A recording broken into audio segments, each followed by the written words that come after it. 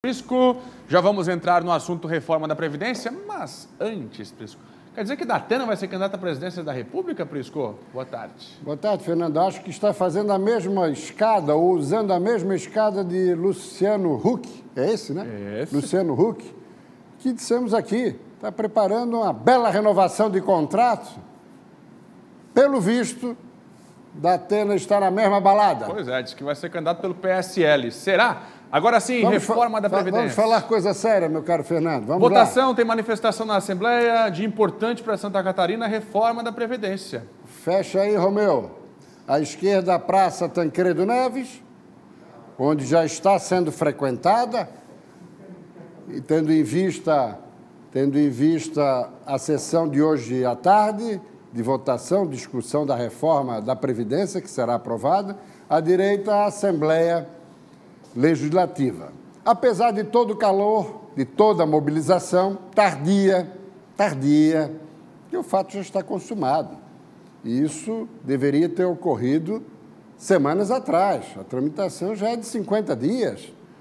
O governo tinha maioria, como tem, folgados aí, 30 votos. Se não bater em 30, 28 no mínimo. E a PEC precisa de 24, acho que nem é 27, é 24. Mas, enfim, o governo dispõe dos votos suficientes. Ontem, o relatório geral mereceu a concordância de praticamente todos os parlamentares, aqui ou ali, apresentação de alguns destaques, como o deputado Maurício Skudlark, que já foi delegado, chefe da Polícia Civil em Santa Catarina, que vai apresentar um destaque em favor da segurança pública civil, buscando integralidade paridade com os militares, será derrotado em plenário, mas teremos também outros dois destaques. Na tela, Romeu. E aí nós temos os quatro deputados estaduais do PT Trabalhadores, que vão se posicionar claramente em relação a dois encaminhamentos, da esquerda para a direita, de cima para baixo, Fabiano da Luz, Luciane Carminati, Neudi Sareta e Padre Pedro Baltzera.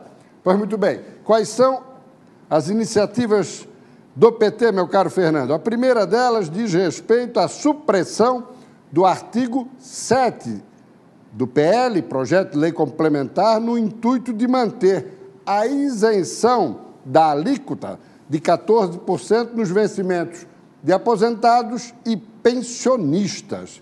Por quê? O redutor hoje está em 6.433, baixa para 1.100, o equivalente ao salário mínimo.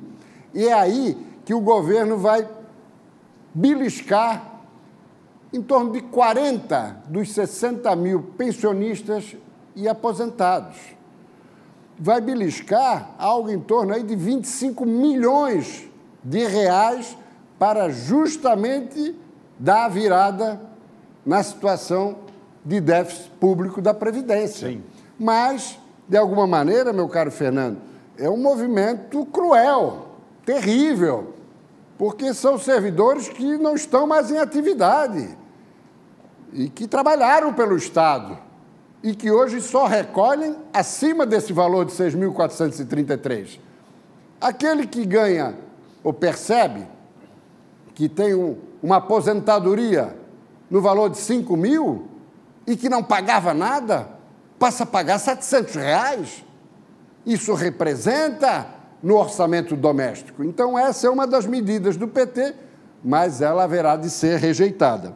O outro requerimento solicita a votação em separado da emenda modificativa que estabelece na pensão por morte uma cota familiar de 70%. É o que o PT deseja. Atualmente é de 100%. O governo enviou inicialmente, Fernando, com 50% Metade, né? e depois elevou no substitutivo global para 60%. Resumindo, a reforma será aprovada e quem vai pagar essa conta de forma terrível são pensionistas e aposentados com remuneração ou com valor baixo.